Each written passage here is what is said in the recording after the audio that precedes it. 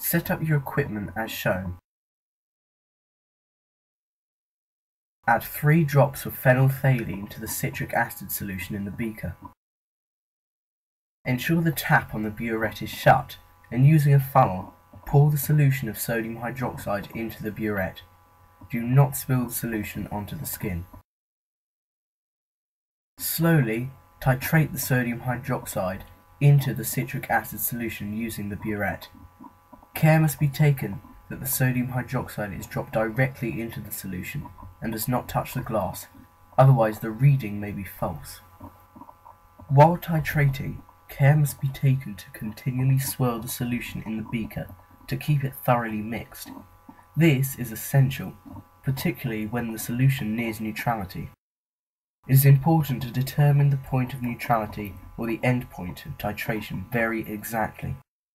The phenolphthalein indicator changes very rapidly from colorless to pink and the endpoint can easily be missed, which will give an inaccurate reading for the test.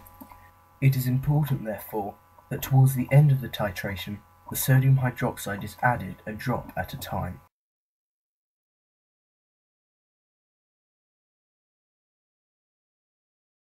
Using phenolphthalein as an indicator, the point of neutrality is reached when the indicator changes from colorless to pink.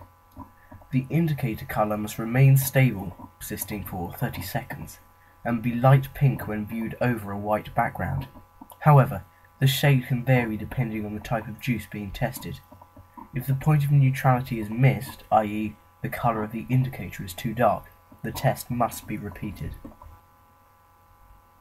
Repeat the whole process with bottled lemon juice.